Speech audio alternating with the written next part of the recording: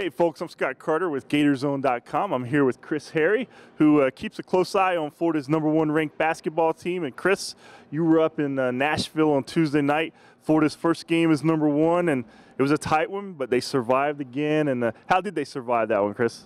Well, one of the things was Billy Donovan talked to his team about you get number one ranking for the first time since 2007. Everyone's going to give you your best shot. Now, that's not to say they weren't getting their best shot when they were number two or number five or what have you, but everyone's going to be coming after them now. And that certainly was the case in Memorial Gym. Four out of the last five opponents, they made a big deal out of this up in Nashville. Four out of the last five number one opponents that had ventured into Nashville had lost at Memorial Gym. They were banking on another one of those kind of games, or at least hoping for one. And Florida played pretty well in the first half, but uh, Vanderbilt started hitting some three-point shots. The game got a little hairy at the end, and like uh, the Gators have been able to do the last few games, they're able to get tough down, the, down at the end of the game. They're able to score when they had to score, and just as importantly, they were able to get stops when they had to get stops, and that's become the calling card of this team to kind of ratchet it up a gear late in the game when they really have to, and that's good and that's bad. You don't want to have to always be counting on that to hit to hit that gear late in the game. Yeah. Uh, you'd like to maybe give yourself a better cushion along the line, and that's something I'm sure Billy Donovan is talking to his team right now, heading into as we're about to turn the calendar into March.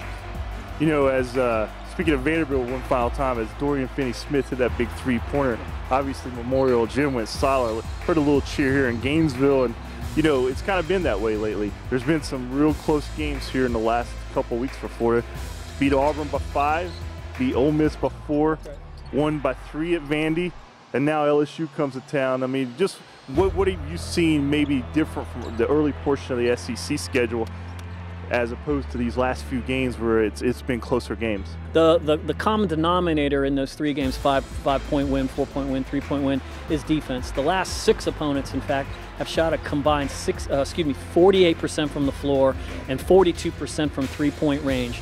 Now the Gators have forced some turnovers. They forced 11 turnovers and put them in pretty position, a pretty good position in the first half of that game against Vanderbilt.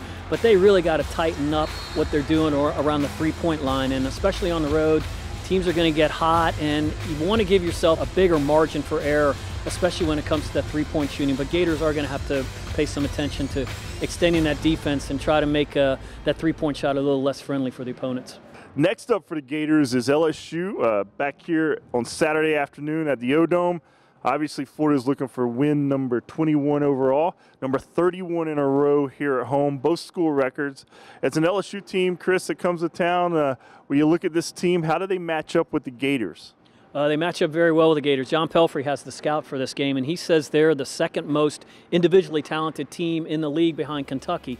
And it's funny that it's LSU because 25 years ago to the day, to this Saturday, wow. the Gators clinched their first ever SEC title at LSU. Uh, the 1989 uh, SEC championship team, Gators, will be honored with a reunion. They'll be honored at halftime of that game Saturday. That game will be nationally televised on CBS, so it should be a pretty jacked up crowd. Second to last game. Of course, we've got senior day next week, but Saturday afternoon in the O-Dome should be pretty crazy. Well, Chris, you know, speaking of uh, that 89 Gators team, I'm old enough to actually remember that, and I think you are too. Yeah. So it's good. It could be a fun day here on Saturday. You know, LSU in town, the Gators have the SEC title, the 89 team being honored. We're going to be there. We hope you guys are too. Until next time, it's uh, Chris Harry and Scott Carter for Gatorzone.com.